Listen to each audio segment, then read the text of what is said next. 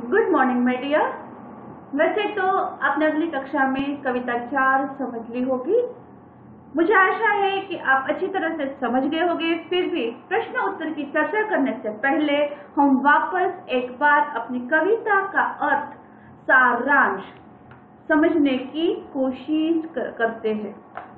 तो पहले एक बार हम जल्दी से कविता पढ़ लेते हैं और उनके माध्यम से हम कविता का सार समझते हैं। तो हमारी कविता है, चाँद से थोड़ी सी गप्पे। जिनके कवि है शमशेर बहादुर सिंह जी। बच्चों, हमेशा अब से आपको एक ध्यान में रखना होगा कि आप जो भी पाठ पढ़े या कविता पढ़े, वह कविता या पाठ के साथ साथ उनके कवि या लेखक का नाम हमें पता होना चाहिए, क्योंकि ऐसे भी प्रश्न आपकी परीक्षा में पूछे जा सकते हैं। और हो सकता है कि हम कवि कवि के नाम के आधार से ही हमें थोड़े बहुत समझ में आ जाता है कि भाई, यह कवि है, उसकी जो रचना है वो किस प्रकार से होगी। तो यहाँ पर हम कविता पढ़ने जा रहे हैं। गोल है खूब मगर आप तिरछी नज़र आते ही जरा। आप पहने हुए हैं कुल आकाश तारो जड़ा। सिर्फ़ मुँह खोले है अपना गोरा चिट्टा गोल मटोल, अपनी अपने पोशाक को फैलाए हुए चारों में आप कुछ तिरछे नज़र आते हैं जाने कैसे? खूब है गोकी वाह जी वाह! बुद्धू ही निरा समझा है। हम समझते नहीं जैसे कि आपको बीमारी है। आप घटते हैं तो घटते ही चले जाते हैं और बढ़ते हैं, यानी कि बढ़ते ही चले जाते हैं। दम नहीं लेते हैं। जब तक बिल्कुल ही गोल न हो जाए बिल्कुल गोल। यह मर्ज आपका अच्छा ही नहीं होने में आता यह बीमारी आपकी सही होने में आती नहीं है। अब वापस हम कविता का सार समझने के बाद प्रश्न के उत्तर की चर्चा करेंगे, जिसके कारण आप अपने हिसाब से प्रश्न अपनी कॉपी में लिख सकते हो। तो यहाँ पर हम कविता का सार समझते कि चाँद से थोड़ी सी गप्पे नामक कविता के रचयिता कौन है? शमशीर बहादुर सिंह जी। इस कविता में एक 10-11 साल की लड़की है जो चाँद को देखकर अपने घटने, बढ़ने के कारण की कल्पना करती है। कल्पना करना, यानी कि उनके बारे में सोचना कि चाँद तो वास्तव में गोल है। वास्तव में यानी कि हकीकत में वो गोल है। किंतु तिरछा दिखाई देता है। वह हमें कि तिरछा दिखाई दे रहा है। चाँद ने तारों से जड़ा हुआ आकाश रूपी कपड़ा पहन रखा हुआ है। उसने क्या पहना है? तो कि आकाश रूपी कपड़े को उसने पहन रखा है। इस कपड़े से वह केवल अपना गोरा चिट्टा और गोल मटोल मुँह दिखाई दे रहा है। उस कपड़े से उसका सिर्फ़ क्या दिखाई दे रहा है? तो कि सिर्फ़ उसका मुँह दिखाई दे रहा है। और मुँह कैसा है? तो गोरा है, चिट्टा है, गोल है, मटोल है। चाँद ने अपनी पोशाक को चारों ओर फैला रखा हुआ है। पता नहीं ये चाँद तिरछा क्यों नज़र आ रहा है? लड़की चाँद से कहती है कि तुमने मुझे बेवकूफ़ समझ रखा है, नादान समझ रखा है क्या मुझे नहीं पता कि आपको क्या है? बीमारी है। क्या मुझे सच पता नहीं कि तुम ऐसे क्यों दिखाई दे रहे हो? दरअसल में तुम्हें बीमारी है। क्या है तुम्हें? बीमारी है। और ऐसी बीमारी है जो कभी भी जिसका कोई इलाज नहीं है। इसलिए जब घटते हैं तो घटते ही चले जाते हो और बढ़ते हो तो बढ़ने ही लगते हो। कब तक बढ़ते हो? तो कि जब तक पूरी तरीके से बढ़ नहीं जाते, गोल नहीं हो जाते और जब तक पूरी तरीके से अदृश्य नहीं हो जाते हो, तब तक तो तुम घटते ही चले जाते हो। तुम तब तक दम नहीं लेते। रुकते नहीं, रुकने का नाम नहीं लेते हो। जब तक पूरी तरीके से गोल नहीं हो जाते हो। इस प्रकार लड़की चाँद से थोड़ी सी बातें कर रही है। और अपनी मन की इच्छा वो चाँद के साथ व्यक्त कर रही है। तो मेरे ख्याल से आपको यह कविता अच्छे से समझ में आ गई होगी।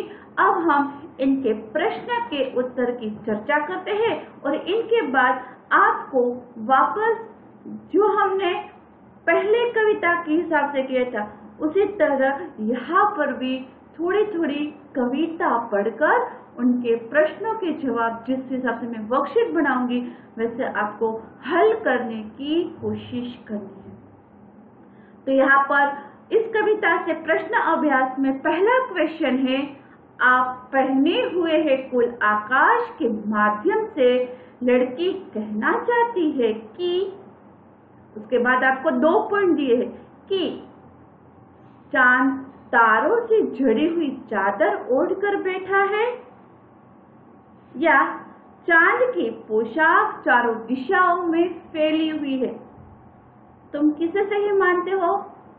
मेरे ख्याल से मेरे पहले ही आपके पास उत्तर आ गया होगा कि आप किसे सही मान रहे हो। तो यहाँ पर हम किसे सही मान रहे हैं कि चाँद की पोशाक चारों दिशाओं में फैली हुई है।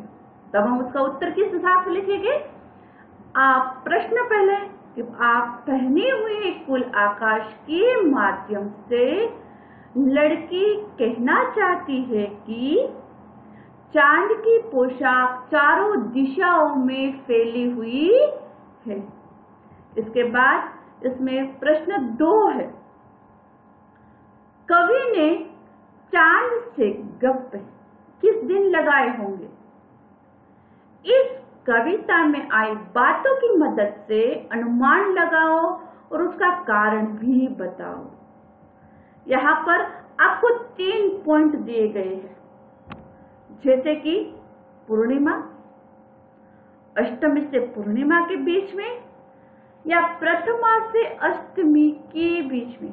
प्रथमा यानी पहले दिन से आठ दिन के बीच वाले पार्ट में। तो हम सब लोग जानते हैं कि चाँद है, वह पूरी तरीके से गोल कब होता है? तो एकादशी से पूर्णिमा के बीच में ही वह पूरी तरीके से गोल होने की कोशिश करता है, वह दिन ब दिन बढ़ता जाता है। अष्टमी से पूर्णिमा तक के बीच। हाँ ये हो सकता है। क्यों हो सकता है? क्योंकि यहाँ पर वह पूरी तरीके से नहीं बढ़ा है। या पूरी तरीके से आधा भी नहीं है। वो काफ़ी बढ़ चुका है। हम देखते हैं कि उस दिनों में चाँद करीबन आधी से भी ज़्यादा बढ़ गया होता है। प्रथमा से अष्टमी के बीच ये तो बिल्कुल नहीं हो सकता। क्यों? क्योंकि प्रथमा से अष्टमी के बीच चाँद आधा भी होता नहीं, यानी कि पहले आठ दिन में वो आधा भी होता नहीं है। परंतु यहाँ पर तो प्रश्न है कि वो कैसा दिखाई दे रहा है? तो कि तिरछा नज़र दे नज़र आ रहा है। तो हम यहाँ पे कौन सा अनुमान लगा सकते हैं? तो कवि चाँद से गप्पे अष्टमी से पूर्णिमा के बीच में लगा रहे हैं। किस हिसाब से? अष्टमी से पूर्णिमा के बीच में, क्योंकि वह कैसा है? तिरछा है। थोड़े तिरछे नज़र आते हैं। आपने ऊपर कविता में देखा होगा कि भाई वो पूरी तरीके से गोल भी नहीं है या आधा भी नहीं है, हल्का सा तिरछा है। तो यहाँ पर हमने कविता में समझा है कि वाह, कवि, लड़की ने कहा है, आप कुछ तिरछी नज़र आते हैं, जाने खूब है गोपी गोकी यानी कि आप थोड़े से तिरछे नज़र आए आपकी गोलाई अभी भी पूरी हुई नहीं है। हमको बुद्धू ही निरा समझा है, हमको नादान समझा है, हम समझते नहीं आपको बीमारी है। आप घटते हैं तो घटते जाते हैं और बढ़ते हैं तो बढ़ते जाते हो।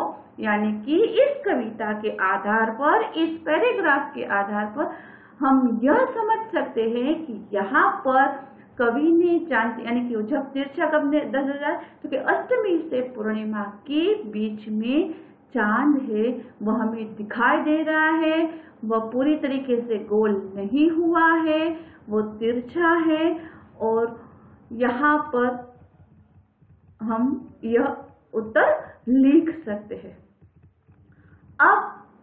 तीसरी क्वेश्चन है।